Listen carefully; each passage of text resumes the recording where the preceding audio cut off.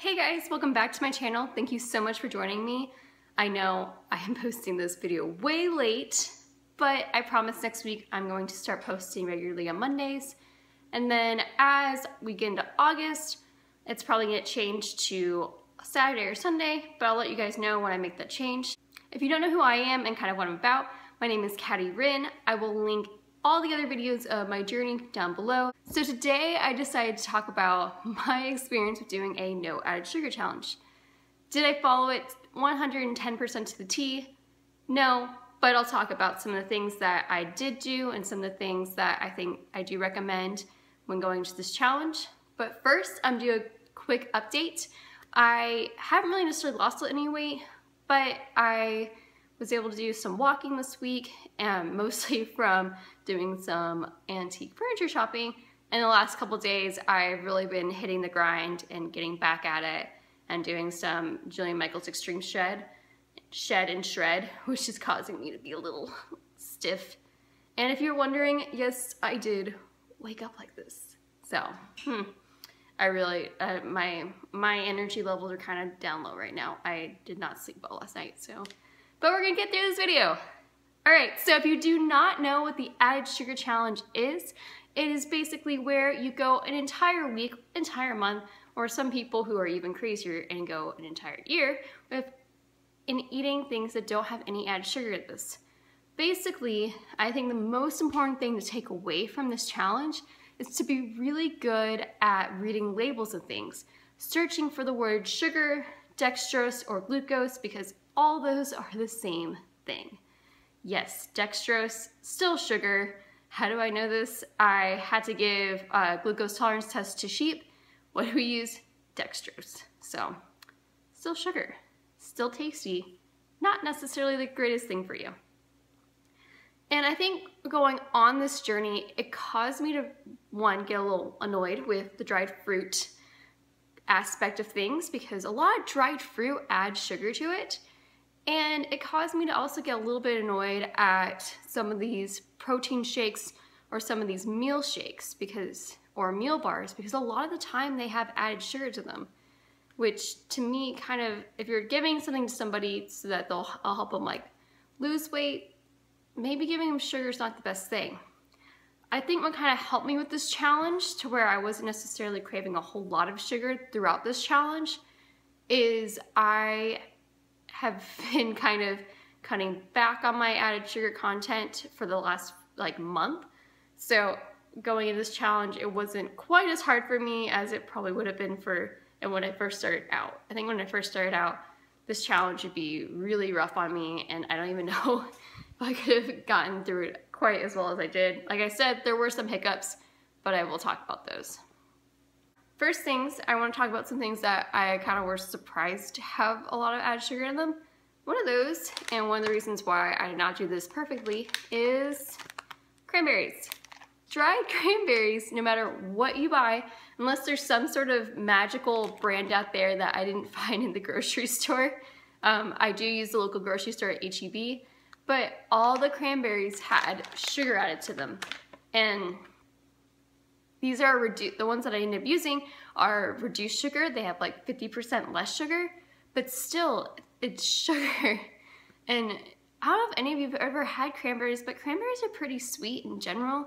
So it's kind of strange to me that you, people feel the need to add sugar to them. And I'm looking at the dried fruit section, I noticed that in a lot of products, a lot of the times they add sugar to things. So you might think that you're eating something that's healthy, but you're actually not. You're actually eating something that's like got coated in sugar, like mangoes especially. One group that is really good about not adding sugar to their products is, and obviously like, I'm not sponsored by any of these things. I'm sorry, I'm like kidding things. I'm not sponsored by any of these things. Uh, obviously I don't have a huge following and so I'm not being sponsored. I just want to tell you guys about some different brands that I really like and that have stuff that I think is really good. One of these is the company Bear. Not so much these, these are not so good for you, but they are quite tasty. I did, I did have some of them. but pretty much their only ingredient for most of their products is like dried banana, that's it. Dried apples, That's it. Maybe add some cinnamon, might add some cayenne pepper, but most of their stuff, it's very, very minimal ingredients, which I could really appreciate.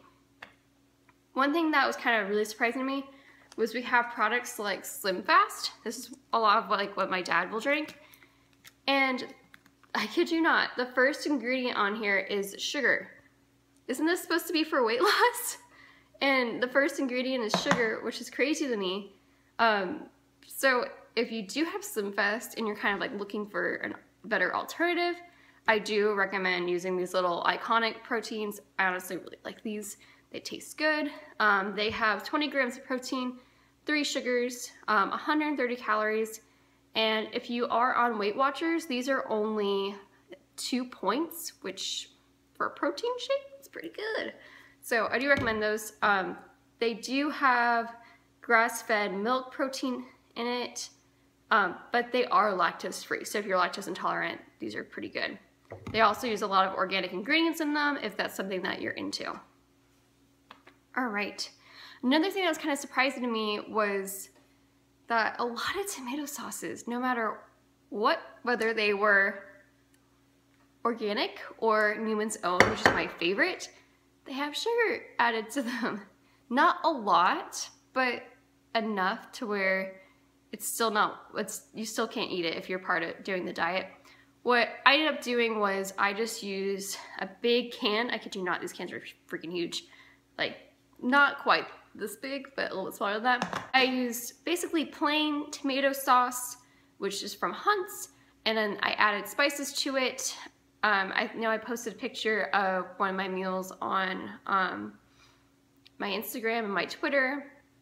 Basically, tomato sauce, add spices to it, paprika um, if you want to, but I added a little bit of cayenne, parsley, basil, oregano. Those are kind of like pepper, and those are kind of my go-to spices for things. And if you need to like lighten up the heat a little bit on stuff, always add salt to it. That will help with the taste. So I use those for my sauces and to help spice them up because plain tomato sauce is, it's fine on pizza when you have other things, but I can't, I can't just do like straight tomato sauce. No, thank you. My palate is more refined than that. It's not, but you know, and if you're not so into the dried fruit, you can always find canned fruit or obviously fresh fruit um, that has no added sugar to it. Obviously fruit does have fructose in it naturally, but that's more of a natural sugar that is a five carbon sugar rather than a six carbon sugar, which is what normal cane sugar is. Um, what you can also do is um, fat-free milk, no added sugar to it, it's just fortified. You can also get unsweetened almond milk, which has no added sugar to it, which I really greatly enjoy. I know some people might not like almond milk or soy milk or any of those, but if you are looking for kind of like a lighter calorie option than regular milk, or if you're lactose intolerant, I really do, or you're vegan, I really do recommend using those products because they actually taste pretty good once you get used to it. Um, you do have to get used to taste of some of these things but I think once you start lowering your cane sugar intake, you're able to really taste the flavor of things a lot better. Like eating fruit right now and eating vegetables has been like, so, like a lot more enjoyable to me because I'm not consuming like copious amounts of sugar all the time. So, which has been great. I also found out that there are sugar-free desserts. So for 4th of July, I decided to make some. They've obviously mostly been eaten. I made sugar-free brownies. So there is an article that talks about the sugar-free brownies down below. Now, she does say that you can add chocolate chips to the brownies. I did not do that because those obviously have sugar in them. Basically, your ingredients are unsweetened applesauce, um, unsweetened cocoa, um, vanilla, black beans, and you have some baking soda, as well as two eggs and a little bit of coffee. And that gets you some brownies. Are they super sweet? No. Oh, they also have dates in them. dates are kind of basically allowing you to get sweetness out of the brownies, really.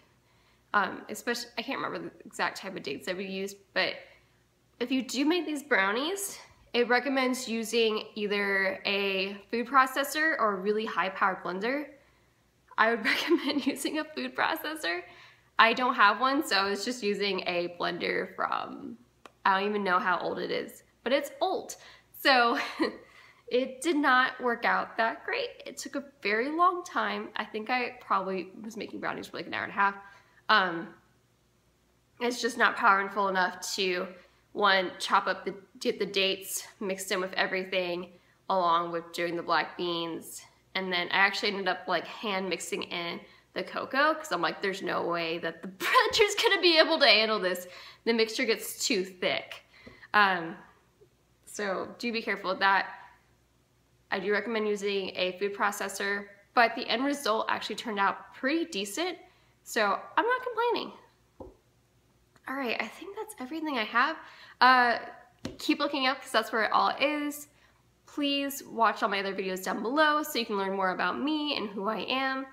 And thank you so much for joining me once again on this crazy video. If you like me and you want to see more of these types of videos, please subscribe to my channel. If you like this particular video, please like it. I'm going to be trying to put out videos every Monday, so please stay tuned for those and I hope you have a fantastic weekend. Bye guys!